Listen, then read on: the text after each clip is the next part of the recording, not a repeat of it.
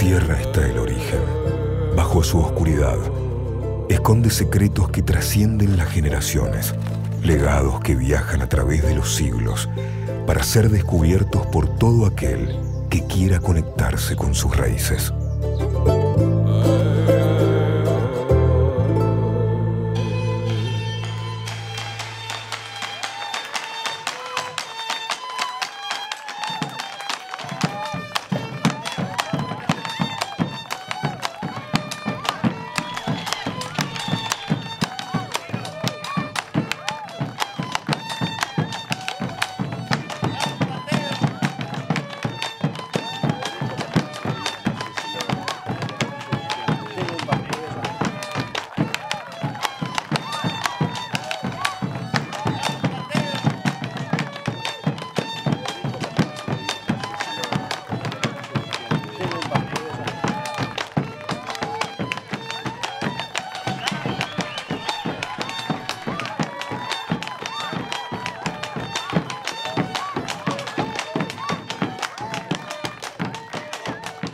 Cuentan que hace muchos años, en esta misma tierra nació Wiñag, hija del cacique más valiente jamás visto.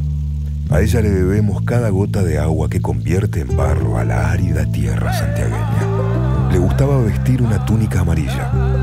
Rara vez se la veía fuera de su choza, pero cuando paseaba por los montes, adornaba su cabello con flores que ella misma recogía, flores amarillas.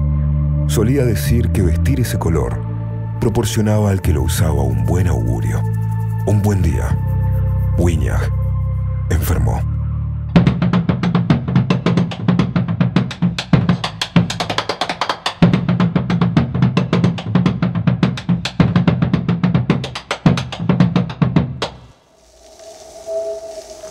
A pesar de los rezos de la gente, el canto de los pájaros y el soplido de los vientos, la niña empeoraba. La sequía asolaba la zona dejando los campos secos de angustia y estupor. Lo que nadie imaginaba era que la madre naturaleza tenía un plan mayor para Wiñag. Una mañana de primavera apareció en el monte un árbol nunca antes visto.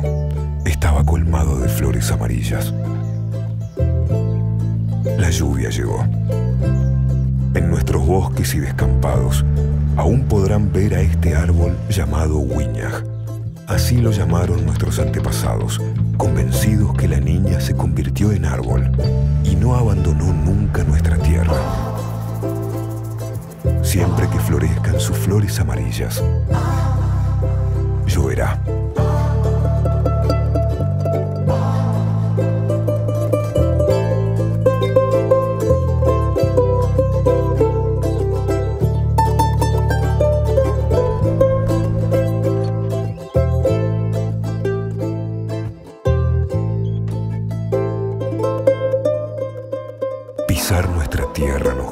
Serenidad, porque es nuestra, porque nos alberga, nos identifica.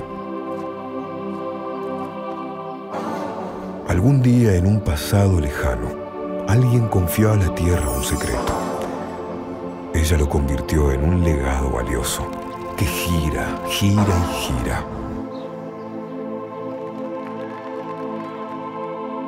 Cada momento en la vida tiene su tiempo, su sentido un momento para llegar, un momento para experimentar y el momento de partir. Una parte de la vida es caminar y gritar a los cuatro vientos, existo. La otra, para ir hacia la luminosa nada, donde todo es desprenderse, alegrarse celebrar.